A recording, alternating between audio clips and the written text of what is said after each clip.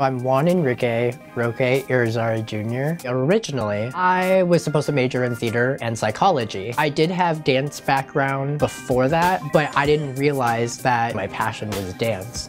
I liked the actual atmosphere at Knox. I got to also focus on the anthropological and sociological point of view through dance. To be honest, I think all the professors, no matter what department, impacted me in different ways. Of course, you have Jen and Kathleen, who helped me focus more on my somatic and Alexander technique, which I was not used to. Gabe Riley, who is my advisor for the ANSO department, she definitely helped me with gender and sexuality and going through the ANSO and sociology perspective also within dance. Scott Sunderland and then Lexi, they helped me with learning about ways to prevent injury and that helped me become a better dancer knowing about your body and other people's bodies. If you look around, there's so much dance in the Knox community. There's all the turf, different clubs and activities. It's huge in the Knox community. This is actually my first residency at Knox during my professional experience. I talked about bringing a street jazz slash heels class, which heels were optional, to Knox because it was different. Yes, we had dancers that danced in heels, which was really cool. But what I also noticed, they just strapped on their heels without actually warming up.